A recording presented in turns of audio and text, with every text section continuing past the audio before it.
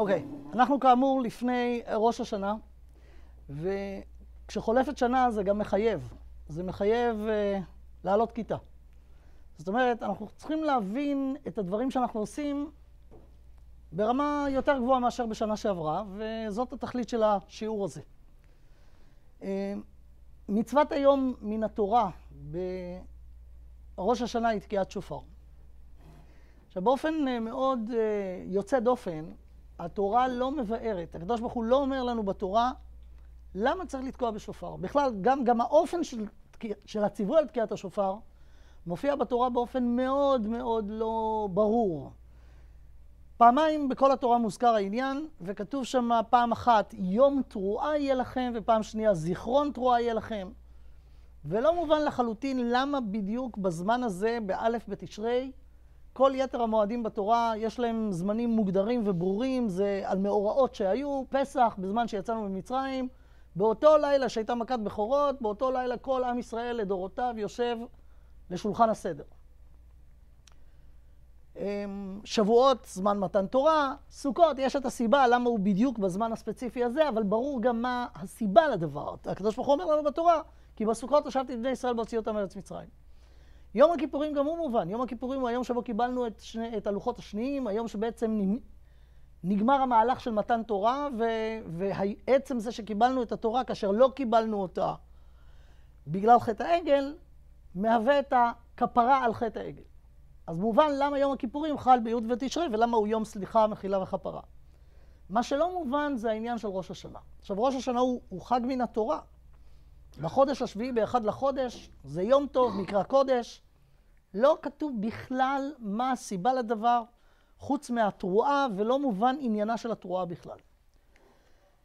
אמ, הרמב"ן מתייחס לזה, והוא מגלה קצת מהפנימיות של הדברים.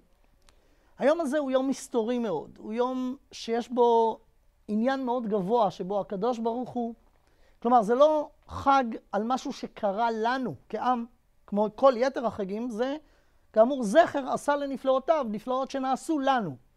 ביום הזה לא קורה לכאורה שום דבר כאן על פני, באופן הנגלה, על פני כדור הארץ. כל מה שקורה בכלל לא קורה כאן, קורה שם, קורה בשמיים. היום הזה הוא יום של משפט, יום של דין. הוא רמוז בדברי הנביאים, בדברי, בכתובים, בדברי, בדברי דוד המלך בתהילים, ממש שוב ברמז, בכסל יום חגנו, כי חוק לישראל הוא משפט לאלוהי יעקב. אבל לכל הדבר הזה מצטרף עניין השופר, שבו הייתי רוצה להתמקד היום, כי העניינים של ראש השנה הם רבים מאוד ו- ורחבים מאוד. נצטרך לעשות פוקוס על העניין הזה של תקיעת השופר. ישנו פסוק בספר תהילים, אנחנו נראה את הקובץ של הפסוקים, ארבעה פסוקים בפרק ארוך בתהילים, שחלק מהפסוק שם זה אשרי העם יודעי תרועה. נראה עוד רגע את המקור ומה זה אומר, אבל אם ננתח את המילים אשרי העם יודעי תרועה, יש פה איזה שבח לעם ישראל, שהם יודעי תרועה.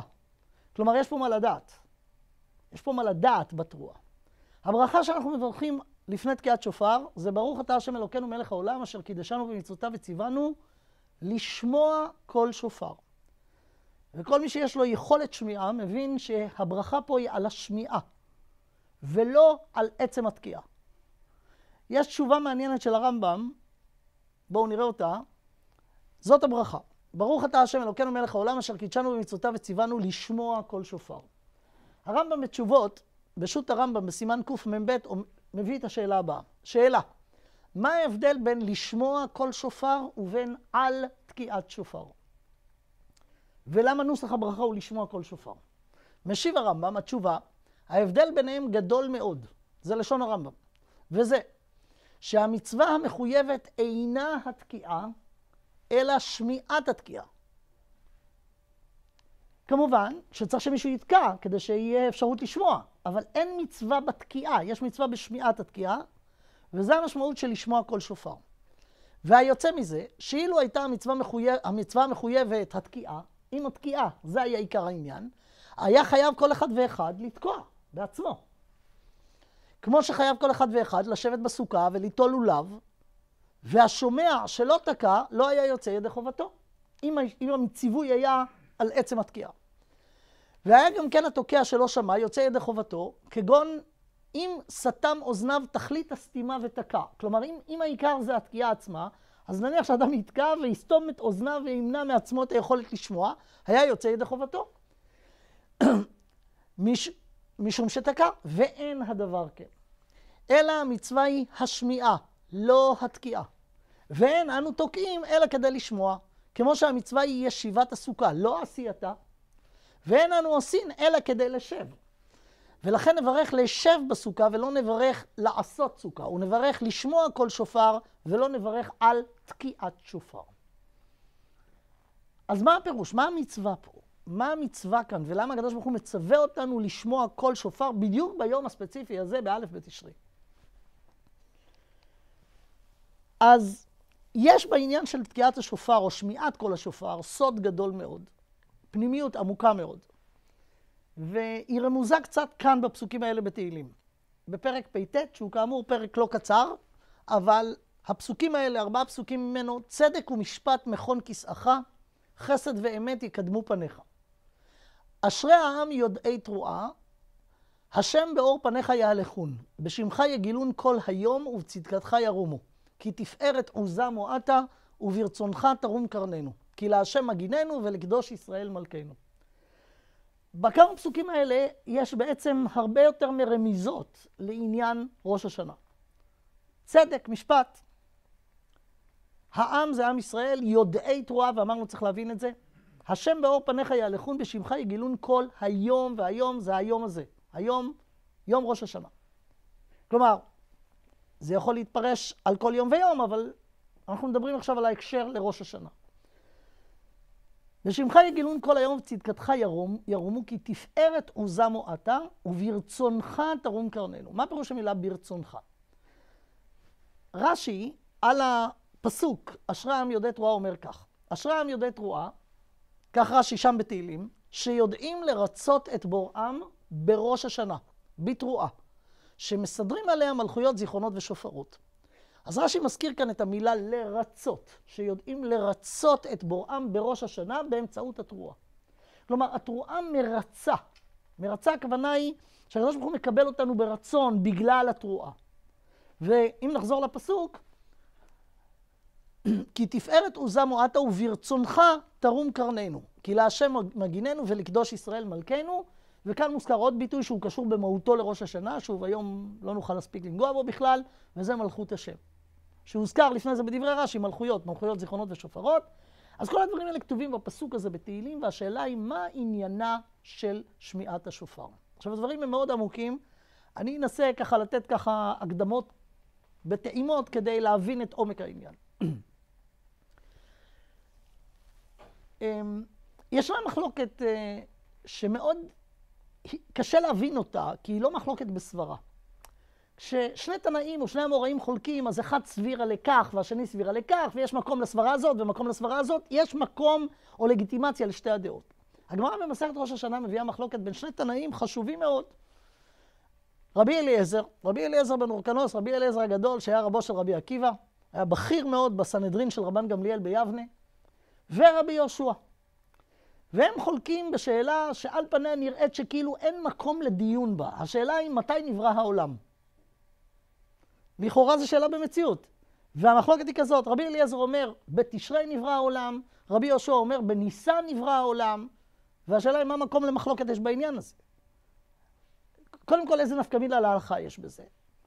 אבל איך אפשר לחלוק על עצם השאלה מתי נברא העולם? הרי העולם אה, נברא או, או פה או פה, או אפילו לא באחד מהם. מה המקום למחלוקת? הר"ן, על המשנה בראש השנה, בפה, המשנה השנייה שעוסקת בעניין של ארבעה ראשי שנים, הר"ן מביא שרבי אליעזר בעצמו אומר במקום אחר, בפסיקתא, שהעולם נברא באלול.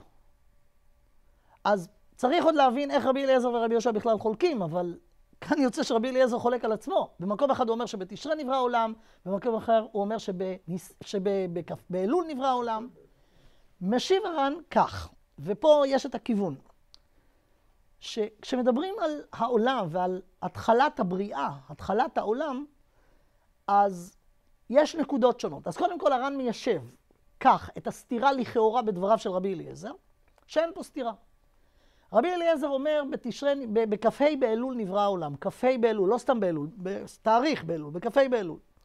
אומר הר"ן שזה מדבר על תחילת הבריאה. הרי העולם נברא בשישה ימים, היום הראשון, אם הוא יהיה כ"ה, הרי שכ"ה, כ"ו, כ"ז, כ"ח, כ"ט, זה חמישה ימים, שמובילים אותנו לחמשת הימים הראשונים של ששת ימי בראשית, ואז בא היום שאחר כך, יום ו', ב, יום ו' של הבריאה, היום השישי של הבריאה, שהוא בעצם א' בתשרי.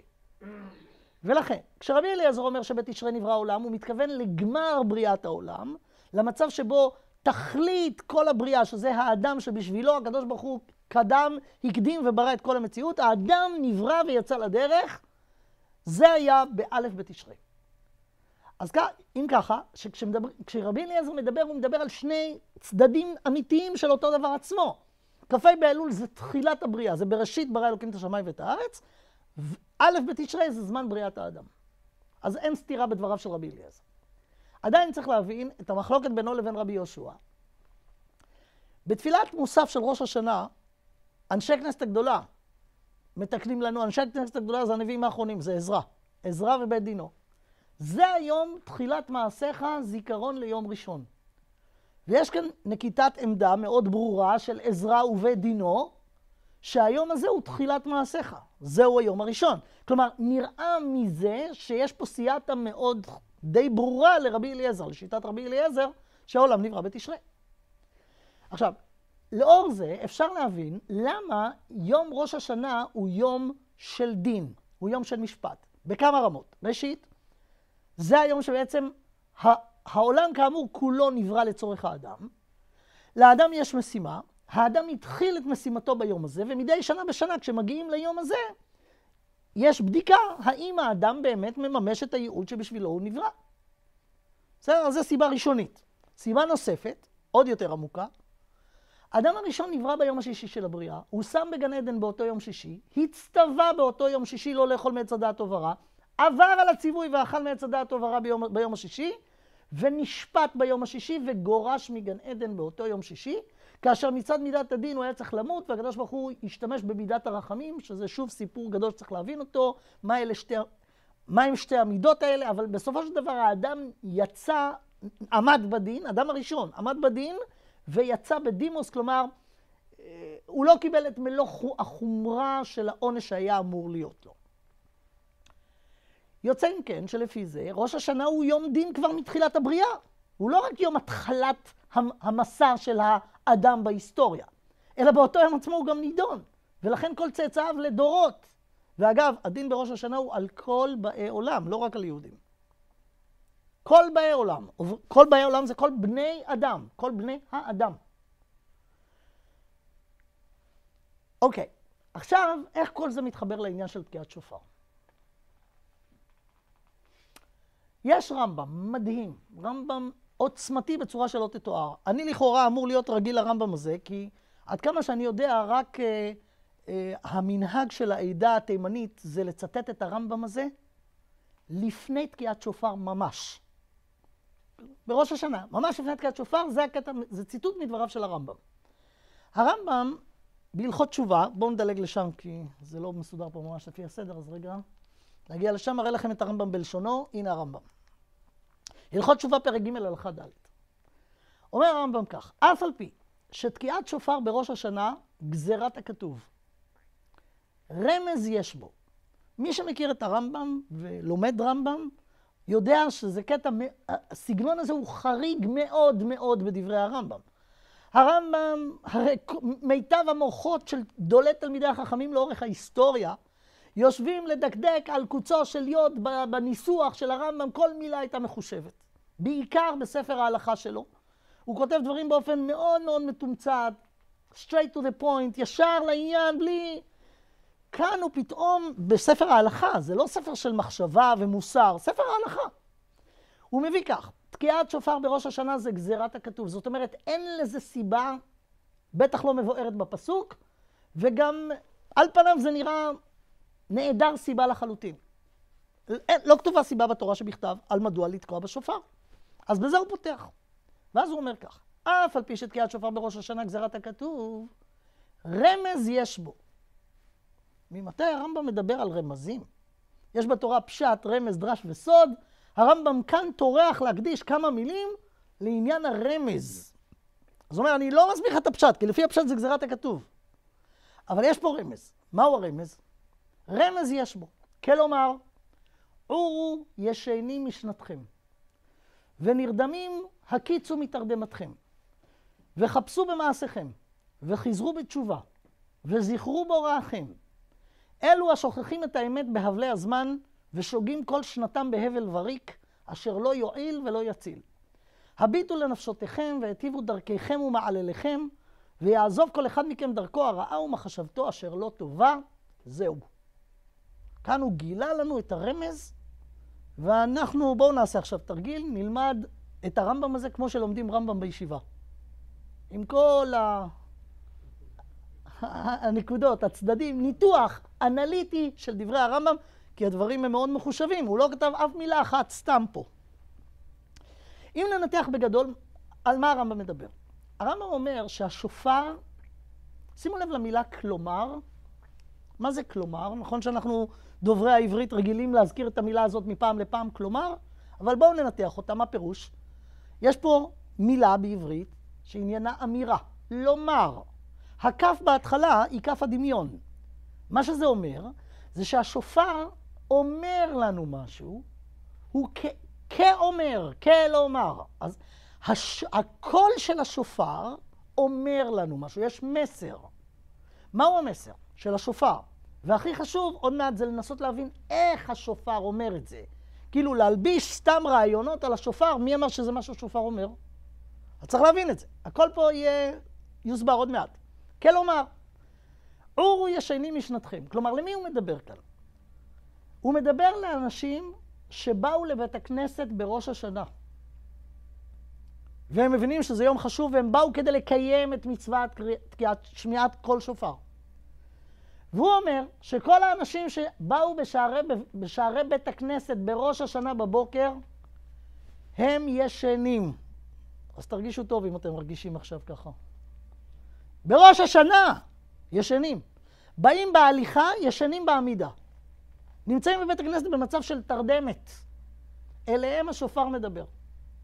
כלומר, אורו ישנים משנתכם, ונרדמים הקיצו מתרדמתכם. יש פה צמד, יש פה שלושה צמדים של מושגים. האנטיתזה של שינה זה ערות.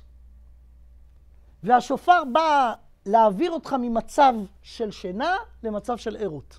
עורו ישנים. זה הצמד הראשון.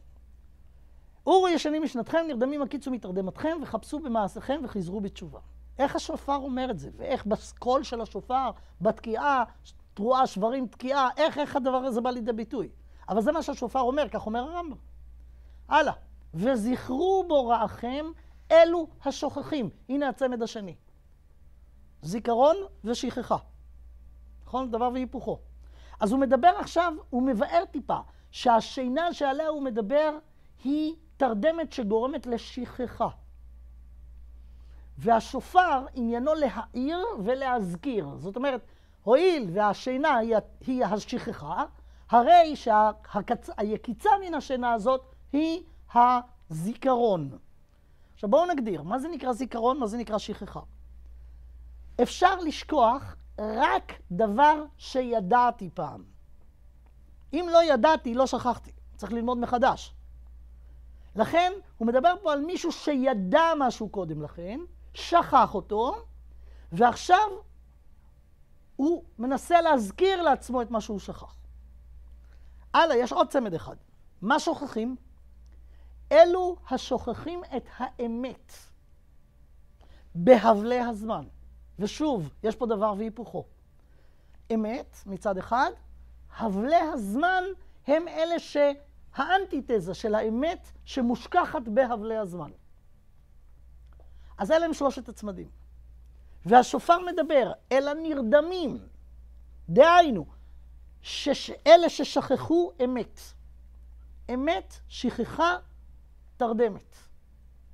השופר בא להעיר, להזכיר את האמת. התרדמת היא בגלל מה שהוא מגדיר כאן הבלי הזמן. אוקיי, אז מה צריך, מה צריך לעשות? מה השופר בא לומר? חזרו בתשובה, הביטו לנפשכם, וזכרו בוראכם. חזרו בתשובה, זכרו בוראכם. זאת אומרת, מה שכחתם? שני דברים. את הנשמה, הביטו לנפשותיכם, וזכרו בוראכם. זו השכחה. והשכחה הזאת נגרמת בגלל הבלי הזמן, והשופר בראש השנה עניינו להעיר ולהזכיר, יש בורא לעולם, יש נשמה.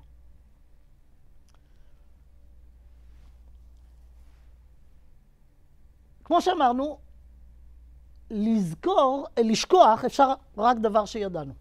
ממילא שכחה היא תמיד שכחה של ידיעה מסוימת. מהי הידיעה המדוברת? על מה מדובר כאן?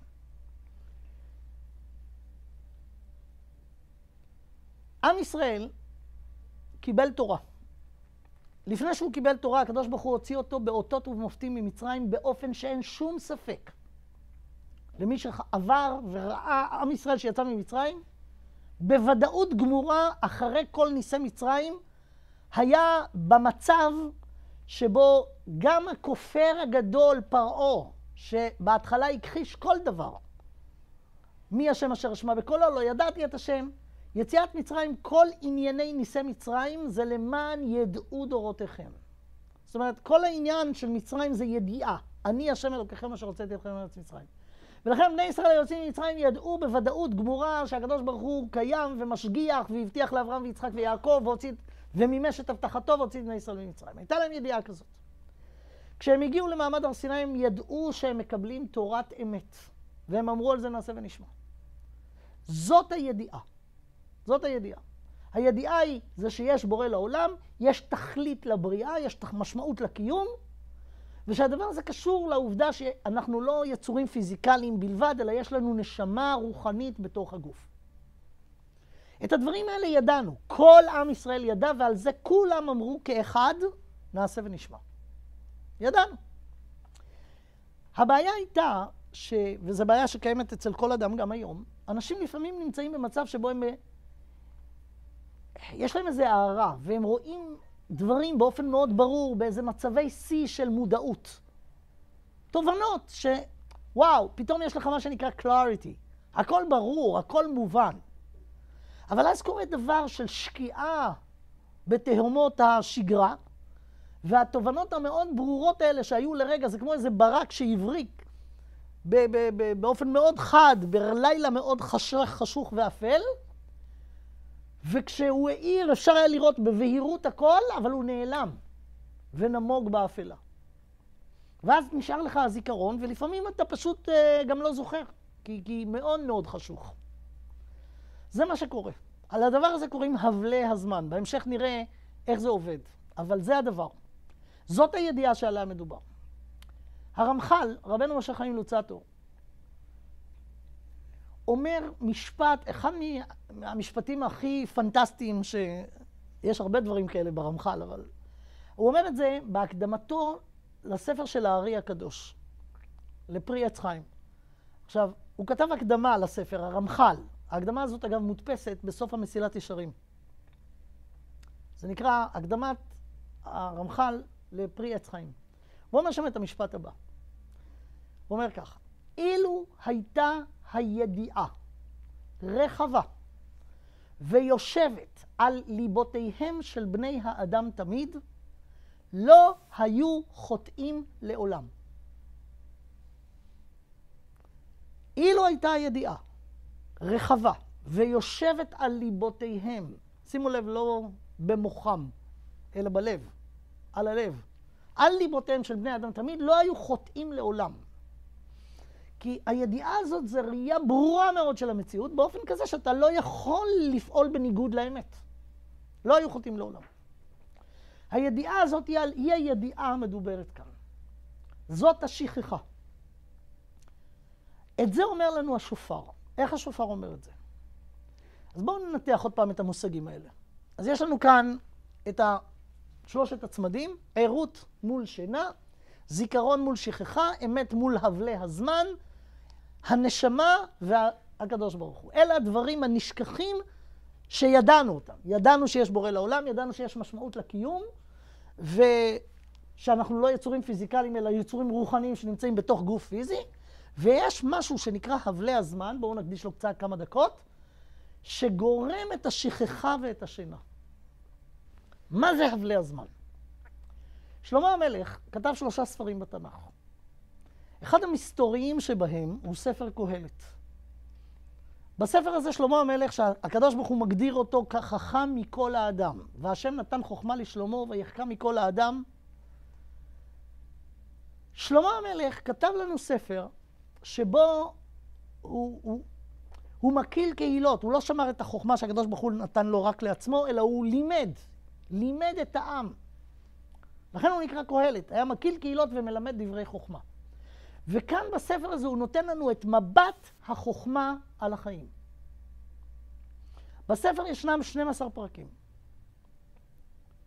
והספר מסביר מה החוכמה אומרת על החיים, ואם נסכם את זה במשפט אחד, זה כבר בפסוק השני בקהלת, זה מדכא בצורה שממש בא להתאבד. הבל הבלים אמר קהלת, הבל הבלים הכל הבל. שבעה הבלים יש פה. הבל, הבלים זה שניים, אמר קהלת, הבל, הבלים, הכל הבל. שבעה הבלים. הכל הבל, הבל הבלים. כמובן שכשאתה קורא את זה, אתה א', לא מסכים, מה שרק אומר כמה רחוק אנחנו או אתה מן החוכמה. זה תלוי באיזה גיל אתה. הלוואי שגם בגילים מופלגים אנשים היו באמת מבינים את זה. הבל הבלים. איך? מה פתאום? וואו. איך שלמה אומר דבר כזה? קודם כל זה קצת חוצפה. לתת לקדוש ברוך הוא ציון נכשל? הוא ברא את העולם הכל הבל הבלים? מה, שלמה לא יודע שהשם בחוכמה יסד ארץ, בתבונה? מה, מה זה? הפסוק הבא מסביר את זה. הפסוק הראשון זה דברי קהלת בן דוד מלך בירושלים, הפסוק השני, אבל הבלים אמר קהלת, אבל הבלים הכל אבל, הפסוק השלישי. מה יתרון לאדם בכל עמלו שיעמול תחת השמש? זה הפסוק השלישי בקהלת. ושוב, לכאורה הוא רק מחזיק, מחזק את הדברים שהוא אמר בפסוק הקודם. מה יתרון? זאת אומרת, אין שום רווח, אין שום יתרון, שום בנפיט לכל מה שאתה תעבוד, כי הכל זה הבל הבלים. אומר רש"י, רש"י מביא שם את המדרש, מה יתרון לאדם בכל עמלו שיעמול תחת השמש? תחת השמש אין יתרון, אבל מעל השמש יש יתרון. פירוש הדברים. בראשית ברא אלוקים את השמיים ואת הארץ. הארץ נמצאת תחת השמש. הארץ נמצאת תחת השמש. השמיים נמצאים מעל. האדם בנוי משני חלקים. וייצר השם אלוקים את האדם עפר מן האדמה, מן הארץ, ויפח באפיו נשמת חיים מן השמיים. אומר שלמה המלך, אני מסתכל מסביבי ואני רואה שרוב בני האדם בעולם עוסקים רוב ימיהם בארץ. כלומר, במה שנמצא תחת השמש. והם לא מתייחסים לחלק שנמצא מעל. עכשיו שוב, בקצרה, סליחה שזה יהיה ברמה של ראשי פרקים, כי אם נרצה למצות את העניין, אנחנו צריכים ארבע שעות לפחות, ולא נראה לי שכדאי עכשיו אה, להשקיע אותה מתישהו, כדאי.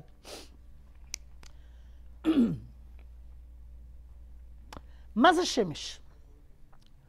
שמש זה גם מושג. ואגב, השמש חוזרת, או המושג הזה, תחת השמש, חוזר על עצמו בספר קהלת המון פעמים. גם זה ראיתי הבל תחת השמש, וגם זה הבל תחת השמש, תחת השמש. מה הוא מתכוון לומר? השמש זה גרם השמיים שאיתו אנחנו מודדים את הזמן. זריחה, שקיעה, יום ועוד יום, הזמן. כשהקדוש ברוך הוא ברא את העולם, בריאת הבריאה כללה שני אלמנטים בסיסיים, שמיים וארץ. הארץ זה לא כדור הארץ. הארץ זה כלל החומר ביוניברס, בבריאה כולה. החומר, עניינו, מהותו, כדי שהחומר יוכל להתקיים, הוא זקוק לשתי מסגרות בסיסיות. מסגרת המקום ומסגרת הזמן. בלי אלה הוא לא יכול להתקיים. הוא צריך מקום כדי להיות בו. פירוש המילה מקום בעברית זה לשון מקיים. אין לך דבר שאין לו מקום. המקום נותן אפשרות קיום למה שנמצא בתוך המקום. ודבר שאין לו מקום, אין לו קיום. לכן, כשהקדוש ברוך הוא ברא את העולם, בד בבד עם בריאת החלק הפיזי בבריאה, שזה הארץ, כלומר החומר, הוא ברא את אפשרות הקיום שלו, שזה המקום. דבר נוסף שהוא ברא, וזו המילה הראשונה בתנ"ך, זה את הזמן. בראשית. אומר הגאון מווילנה, כאן כתוב, כאן, לא רק הגאון מווילנה אומר את זה, גם הספורנו אומר את זה וגם הרמב"ן, כאן כתובה בריאת הזמן. הזמן נברא, מפה, מכאן ואילך יש, בר, יש ראשית. לפני זה אין, אין זמן. הזמן והמקום נבראו כדי לאפשר את קיומה של המציאות הפיזית.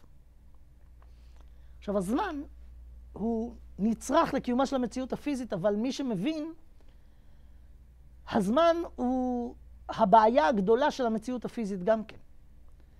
כל דבר שנמצא תחת סקלת הזמן, יש לו נקודת התחלה ובהכרח נקודת סיום. כל דבר שעלה בשלב מסוים על סקלת הזמן, זה עניין של זמן עד שהוא ירד ממנה ויגיע לנקודת החידלון שלו. ולכן סקלת הזמן היא מלכודת המוות של המציאות הפיזית, של המציאות הפיזית. עכשיו, סליחה שאני הולך להכניס אתכם לדיכאון, אבל זה שלמה המלך, והוא עושה את זה עם כוונה טובה וגם אני אלך בעקבותיו. צריך להבין את המושג שנקרא הבל. כל מה שנמצא תחת הזמן, תחת השמש, שזה הזמן, הוא הבל. למה הוא הבל? מה זה הבל? היה אדם בהיסטוריה שקראו לו הבל. כולכם שמעתם עליו. הבן של אדם הראשון. הוא נרצח בדמי ימיו, כשהוא לא הספיק להשאיר שם ושארית בארץ, ובעצם לא נשאר ממנו דבר. מכאן נגזרת המילה הבל, כשמישהו אומר דברים לא חכמים, ואתה אומר, שהוא אומר דברי הבל, בעצם במילים אחרות אתה אומר, הדברים שאתה אומר הם חסרי קיום. אין להם. אין להם, אין להם תוחלת. הם, הם לא יהיו, הם הבל. ההגדרה הפשטנית של הבל זה כל דבר שאין לו קיום, אין לו המשך. הוא הבל, כמו הבל, אדם של אדם, בנו של אדם הראשון. אבל למילה הבל יש פנימיות עמוקה יותר, שכשמנתחים אותה, אז היא עושה את ההבל לעוד יותר טרגי. אז סליחה שאנחנו מעמיקים עכשיו בביצה של הטרגיות. הבל, באופן הפשטני שלו, זה דבר שאין לו קיום. אבל באופן העמוק יותר שלו, יש עוד דבר שנקרא הבל. נכון, אין העולם מתקיים אלא על הבל פיהם של תינוקות של בית רבן. מה זה הבל? הבל זה ה... אני זוכר כירושלמי, אתה יוצא ביום חורף קר בירושלים מהבית החוצה, ואתה מדבר, ויוצא לך עשן מהפה. אומרת, מה זה עשן? זה ההבדלי הטמפרטורה בין האוויר החם שבריאות לבין הטמפרטורה הקרה בחוץ, נכון? הדבר הזה נקרא הבל. הבל. כשלוקחים קומקום ושמים אותו על הקיריים ומרתיחים אותו, יוצא ממנו מין קיטור לבן כזה, הקיטור הזה נקרא הבל.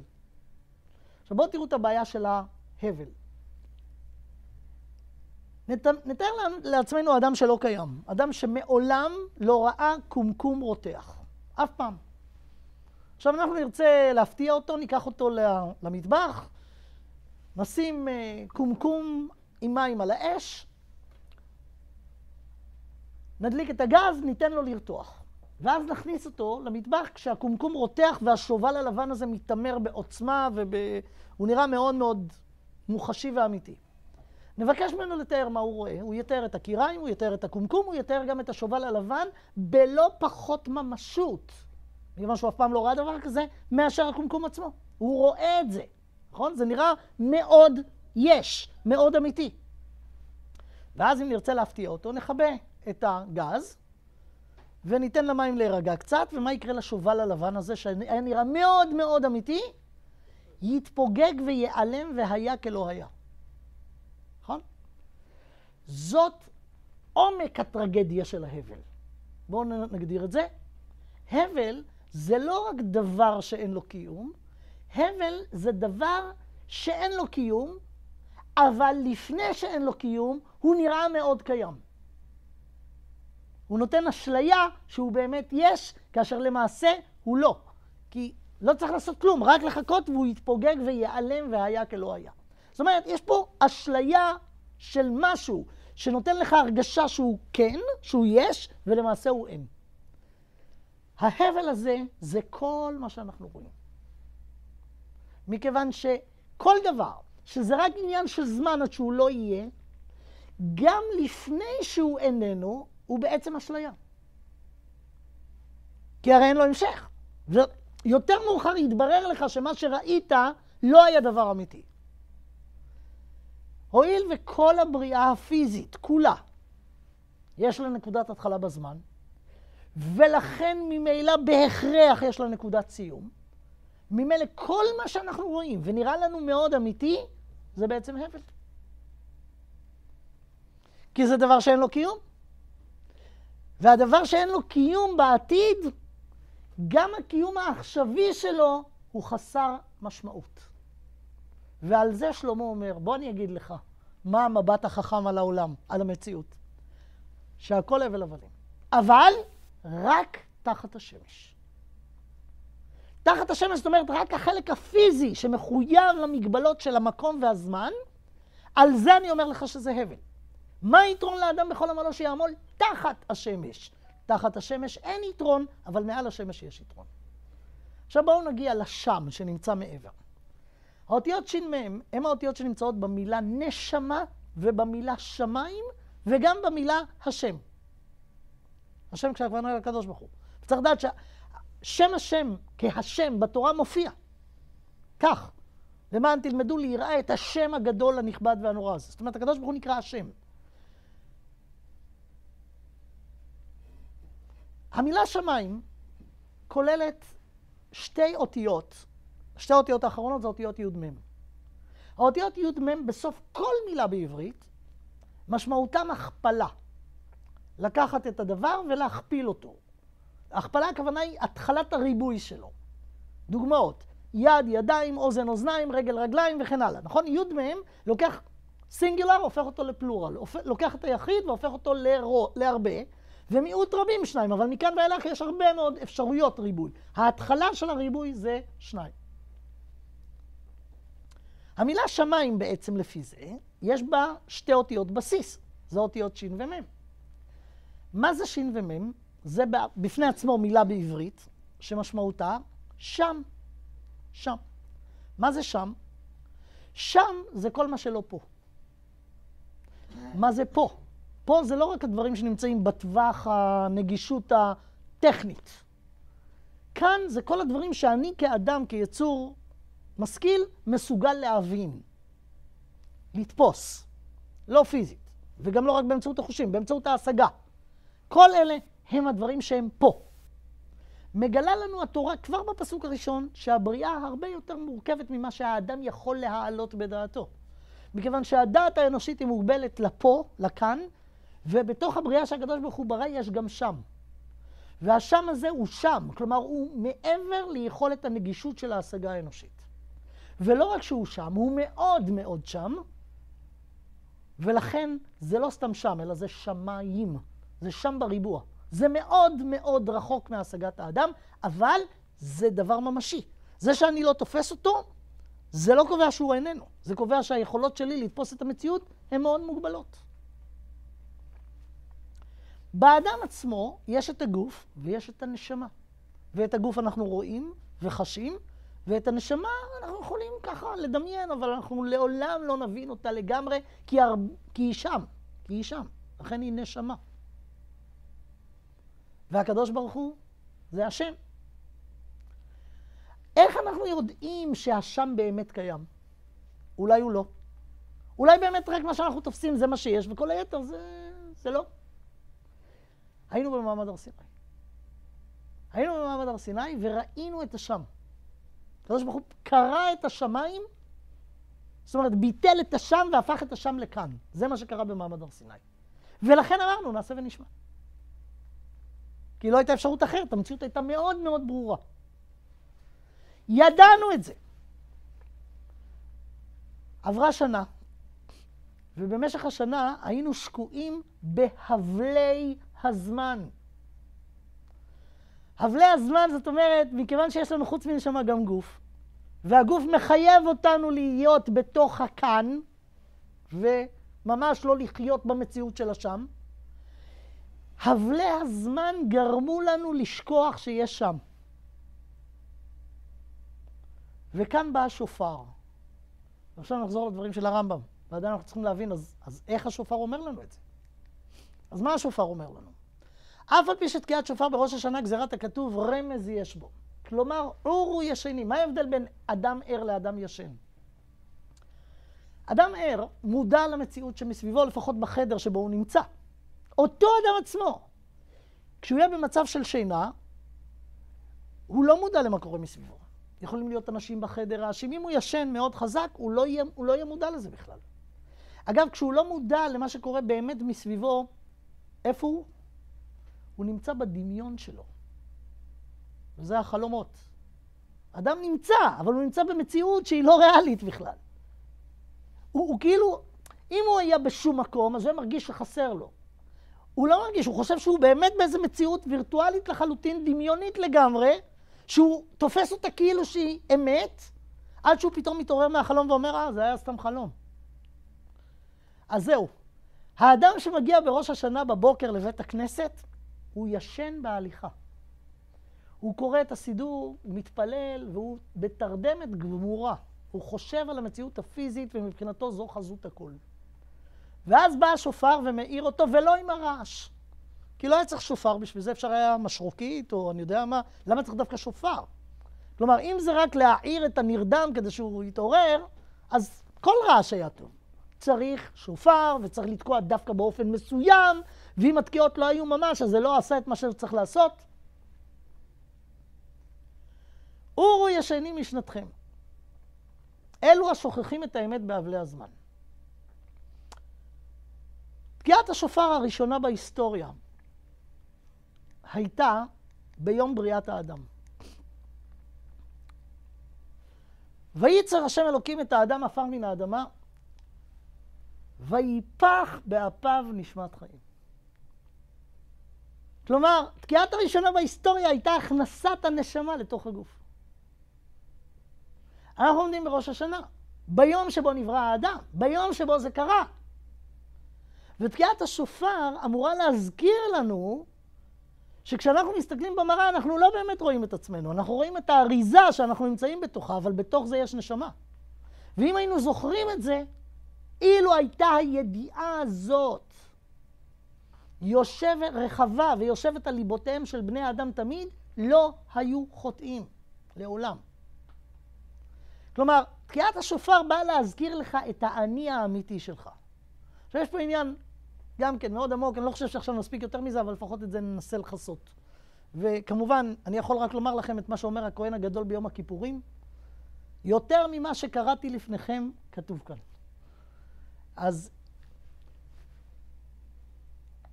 כשהקדוש ברוך הוא ברא את האדם, כתוב בפסוק, ויאמר השם אלוקים, לפני בריאת אדם, נעשה אדם בצלמנו כדמותנו וירדו בדגת הים. והמילה נעשה כתובה בלשון רבים.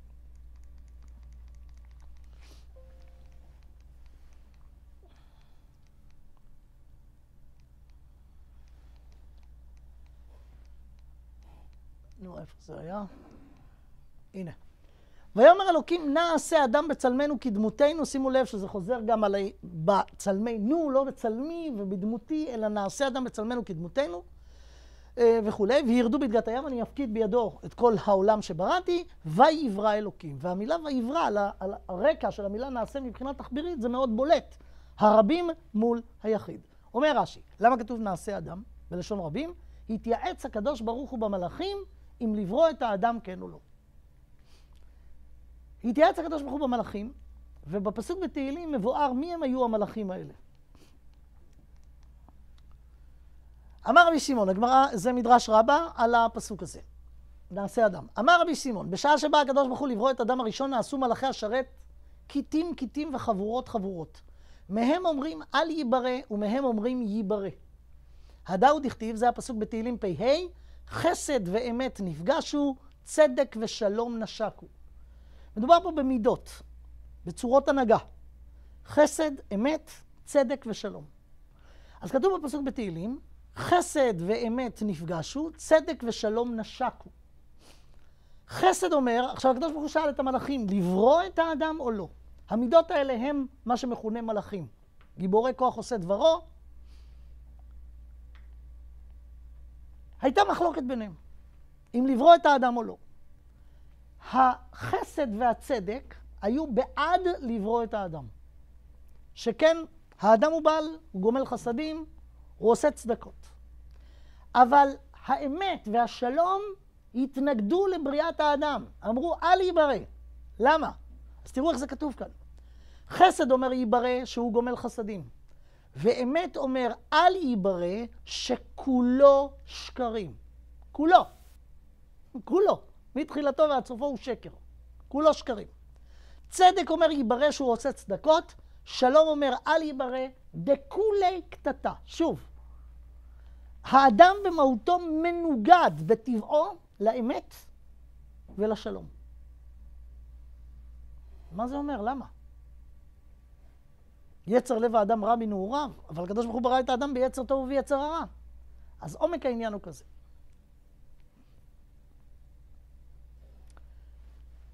האמת מתנגד, האדם מתנגד לאמת, אבל איפה האדם מתנגד לאמת?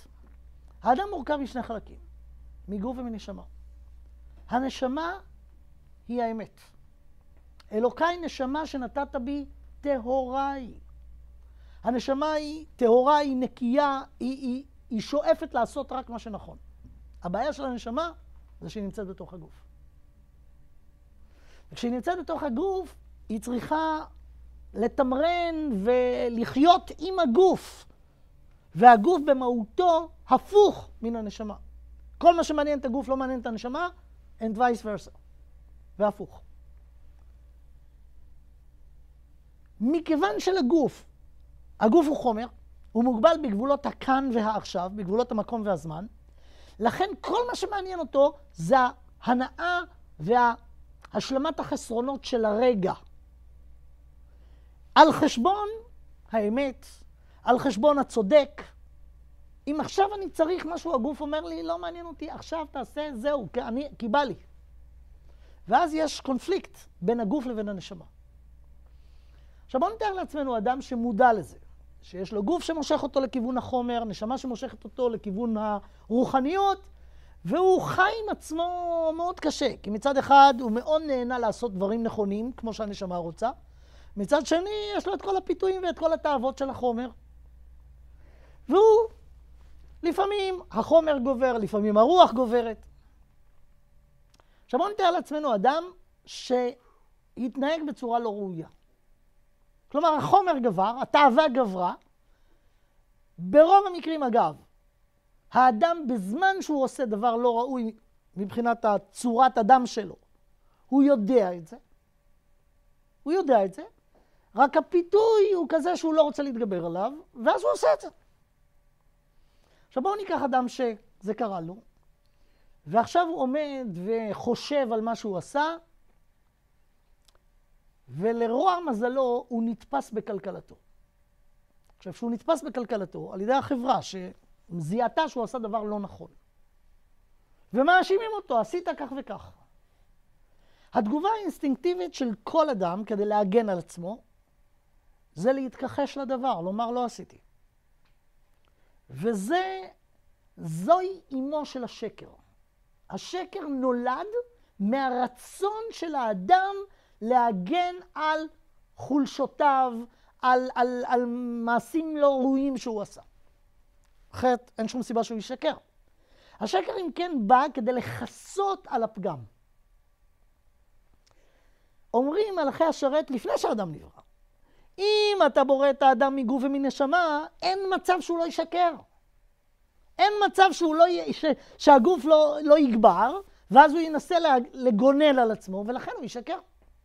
כולו שקרים. האדם הוא גם במהותו, מכיוון שהחומר הוא חסר. השלם, הנשמה היא קשורה, ל, באופן יחסי בוודאי, היא יותר שלמה מן הגוף. אבל הגוף במהותו הוא חסר. כי כל חומר הוא חסר, מעצם העובדה שהוא מוגבל במקום ובזמן. ולכן הגוף של האדם הוא נגד השלום, כי שלום זה שלמות. לכן השלום והאמת מתנגדים לבריאת האדם. עכשיו שימו לב, זה קרה בראש השנה. הדיון הזה בין הקדוש ברוך הוא לבין המלאכים קרה ביום השישי של הבריאה, שזה א' בתשרי. מה זאת אומרת? מה קרה שמה? הייתה פה שאלה, ייברא או לא ייברא? ובכל שנה ושנה האדם נידון בדיוק על העניין הזה. ייברא או לא ייברא. בראש השנה, על זה הוא עומד לדין.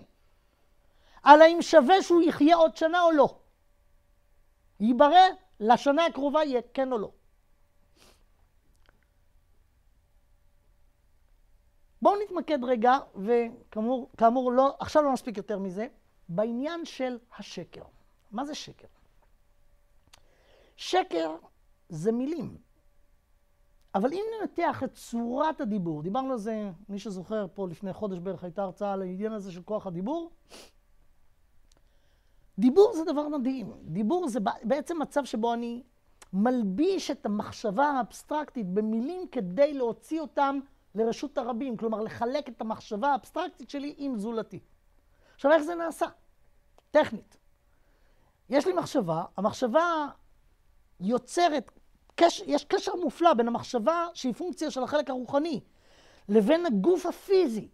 וכאדם אנחנו גם מסוגלים לדבר. הדיבור טכנית הוא בעצם אה, פליטה של אוויר מן הריאות, דרך מיתרי הקול, דרך מוצאות הפה, זה יוצר צלילים, שבאופן מופלא לגמרי, יש דבר שנקרא שפה, ויכולת באמצעות היגוי וצירוף של צלילים לאותיות ולמילים ולמשפטים להעביר מחשבה. הדבר הכי אותנטי בשלבים השונים של הוצאת הדיבור מן הכוח אל הפועל, זה כשהאוויר יוצא מן הריאות לפני שהוא נפגש במיתרי הקול. זה התהליך הראשוני. התהליך הזה, או תחילת התהליך הזה, נקרא תקיעת שופר. כי בשופר אין מילים, יש קול. אני חושב שהזכרתי בשיעור הקודם, למי שהיה כאן, שכתוב בקבלה שהיחס בין הקול לבין הדיבור זה היחס שבין זכר לנקבה. הקול הוא הזכר והדיבור הוא הנקבה. כי איך זה עובד? ביחסי הגומלין שבין זכר לנקבה, הזכר משפיע, הנקבה, הנקבה מקבלת, מעבדת ויולדת. כלומר, האופן של הדבר הפוטנציאלי הראשוני, האופן שבו הדבר הזה הופך להיות יצור חי, בעל רמ"ח איברים ושסה גידים, מתרחש אצל הנקבה. כלומר, היא מקבלת דבר פוטנציאלי והיא זו שמעבדת את זה. זה פחות או יותר מה שקורה ביחס שבין הקול לבין הדיבור. הקול הוא קול, אבל אם הוא לא יעבור דרך מוצאות הפה ודרך מיתרי הקול, הוא לא יגיע לכלל הברות, מילים, צלילים וכן הלאה. לכן, הדיבור הוא בעצם הנקבה המעבדת והיולדת. זה מופיע בקבלה העניין הזה. בכל מקרה.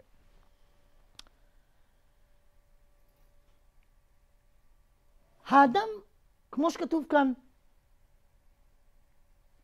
כולו שקרים, שכולו שקרים. אבל מה זה השקר? השקר זה מהרגע שהכל הופך להיות דיבור.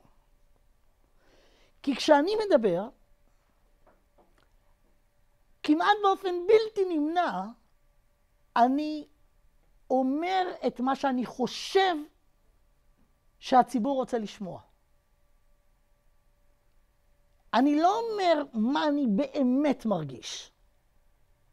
יש פה איזה מעבר בין ההתחלה, שהוא הכל, לבין הדיבור, ששם נלקח בחש... נלקחים בחשבון כל מיני שיקולים זרים, שלא נותנים לדבר האמיתי באמת באמת לצאת. זהו השקר. השקר מגיע תמיד מהחולשות של החומר, ואז אני לא אומר מה אני באמת, אלא אני אומר מה אני חושב שיגרום לי למצוא חן בעיני אנשים, או להציג את עצמי באופן כזה, שהוא לא הדבר האמיתי לגמרי. בראש השנה, הקדוש ברוך הוא מגלה לנו יש לכם את זה, רק תוציאו את זה, כמו שזה באמת. השופר, הקול עצמו, בלי הדיבור. בלי הדיבור. תיכנסו לפנימיות של באמת מי אתם. זאת בריאת האדם. ולכן תקיעת השופר יש לה סגולות מדהימות. קודם כל ביחס לאדם, היא פועלת גם כמובן במושגים שבכלל לא יצא לנו אפילו להיכנס אליהם עכשיו, וזה כיסי דין וכיסי רחמים, והיא משנה, אבל מה בעצם עניינה? לגלות את האני האמיתי שלי. כי כשאדם חי בשקר, הוא, הוא, מונ, הוא, הוא חוסם את עצמו מעצמו. הוא לא נותן לעצמו לבוא לידי ביטוי. ובתוך עצמו האדם רוצה להיות בסדר. רוצה להיות בסדר. כל השקר זה דבר שנכפה עליו בגלל חולשות החומר. ולכן כל השופר זה בעצם הקול של הנשמה. זה בדיוק ה... וייצר השם אלוקים את האדם עפר מן האדמה, ויפח באפיו נשמת חיים. הנפיחה הזאת זה הדבר הפנימי האמיתי, השם, הנשמה. זה, זה, זה הקול שופר.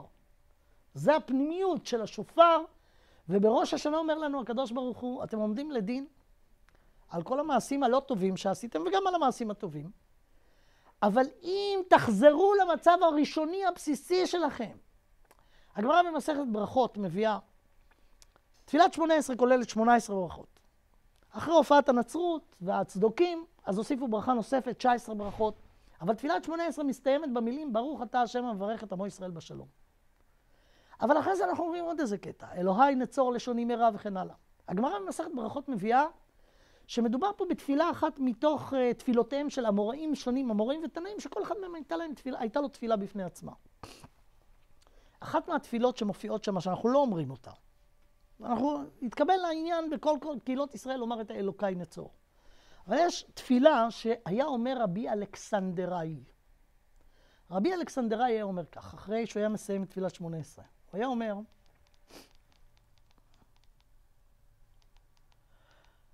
אני חושב שיש לי את זה פה, צריך להיות לי את זה פה. כן, הנה. ברכות י"ז. ורבי אלכסנדראי בתר דמצלי אמר הכי, ריבון העולמים, גלוי וידוע לפניך, שרצוננו לעשות רצונך. אנחנו אומרים לקדוש ברוך הוא, אתה יודע הכל. גלוי וידוע לפניך. שרצוננו, הכוונה עם ישראל, לעשות את רצונך. כשאמרנו נעשה ונשמע, התכוונו לזה. וזה קיים אצלנו בפנים, אצל כל יהודי בפנים, כל הזמן. רצוננו לעשות רצונך. אז למה אנחנו לא עושים? אין דבר העומד בפני הרצון. אז אם אנחנו באמת רוצים, אז אנחנו לא עושים? ומי מעכב? אומר רש"י, ומי מעכב שאין אנו עושים את רצונך? הרי אנחנו רוצים. יש שני מעכבים, שאור שבעיסה ושיעבוד מלכויות. יהי רצון מלפניך שתצילנו מידם. כלומר, אנחנו רוצים, יש מכשולים שמונעים מאיתנו, כל מה שעליך לעשות, או זו התפילה שלנו אליך, סלק את המכשולים האלה, ואז יתגלה הרצון האמיתי שלנו. יהי רצון מלפניך שתצילנו מידם ונשוב לעשות חוקי רצונך בלבב שלם. לבב שלם זה עם שני בתים, זה בכל לבבך בשני יצריך. מה זה שאור שבעיסה? אומר רש"י, שאור שבעיסה יצר הרע שבלבבינו. יצר טוב ויצר רע, אז יש שם את ההוא, הבית ההיא השמאלית, יצר רע שבלבבינו המחמיצנו. כמו שהשאור מחמיץ את העיסה, פירוש, הוא לוקח את העיסה וגורם לה להתנפח מעבר לצורה הטבעית שלה. זה יצר הרע. יצר זה צורה, צורה רעה, שגורמת לחומר לקחת יותר מקום במרקם שביחסי הגומלין חומר ורוח ממה שבאמת מגיע לו. סלק את זה מאיתנו ויתגלה הרצון האמיתי שלנו. וזה מה שאמור לקרות בראש השנה. אם אנחנו שומעים את השופר, זוכרים הרי הוא מדבר אלינו? רמז יש בו? כלומר, הוא בא לומר, מה הוא בא לומר? הוא בא לומר, יש לך את זה. תשים לב לנשמה, שכחת אותה. אתה, אתה תופס את עצמך בצורה לא נכונה. אתה תופס את עצמך בתור גוף. אתה לא, אתה נשמה בתוך גוף. אז הנשמה, עכשיו הקול של הנשמה זה הקול של השופר. וכשאנחנו מברכים, לשמוע קול שופר, כמו שהרמב"ם אומר, המצווה פה זה לא התקיעה, אלא השמיעה. לשמוע קול שופר, פירושו של דבר, תזכה אותנו לשמוע את הקול הפנימי האמיתי שלנו, ואז נעשה את רצונך. וזה ראש השנה. וזה מה שמציל ביום הדין. זאת אומרת, הגילוי האמיתי שכל הרע שעשינו לא נובע מהרצון הפנימי האמיתי שלנו. הרצון הפנימי האמיתי שלנו זה לעשות את האמת. נכשלנו. אז התהליך פה הוא מצב של גילוי דעת של השומע את קול השופר. אני זה הקול הזה ולא הדברים האחרים. זה לא השקר, אלא הקול הפנימי עוד לפני שהקול הופך להיות דיבור. ואז הדיבור יהיה דיבור של אמת. זהו, אמרתי לכם, זה דבר עמוק, אבל חשוב ללמוד אותו. צריך לעשות upgrade ברמה כזאת או אחרת. אז uh, עשינו מה שעשינו, ויש כמובן עוד הרבה מאוד, אבל במסגרת הזאת, אני מקווה שהדברים האלה יהוו את ה... את ה-upgrade הנדרש כדי לעמוד... ההבל, כל ההבל עניינו האשליה האופטית של, הח... של החומר וחשיבות היתר שהאדם משקיע בו מעבר לרמה של, מת... של אמצעי. החומר הוא חשוב כאמצעי. השקר שלו זה שהוא משתלט על האדם והופך את עצמו למטרה, והאדם גם אם הוא יודע את האמת, מי שלא יודע בכלל עיוור. אבל גם אם הוא יודע את האמת, הצרכים הפיזיקליים שאנחנו נמצאים בהם, שנקראים הבלי הזמן, זה מין ביצה שגוררת אותנו וגורמת לנו ללא הרף כל הזמן, בהתמדה, לשכוח את מה שאנחנו יודעים. זה ההבל. כן, כן, זה אותו דבר, זה אותו דבר בדיוק. אז אלה הדברים, תודה לכם על ההקשבה. ותדעו לכם שזה לא הכמות, זה האיכות. אז זה בסדר. ו- לא, לא, לא, היה, היה. אוקיי.